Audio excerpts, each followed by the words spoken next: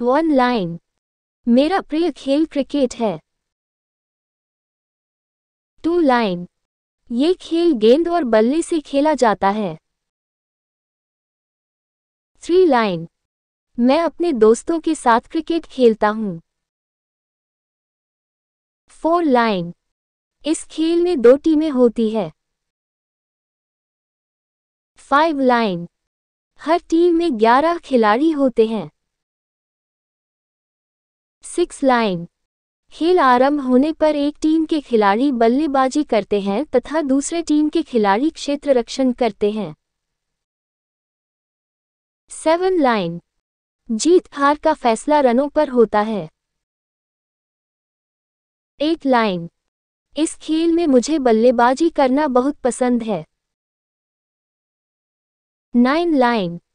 Cricket एक लोकप्रिय खेल है। Ten line. मैं बड़ा होकर विराट कोहली जैसा क्रिकेटर बनना चाहता हूँ।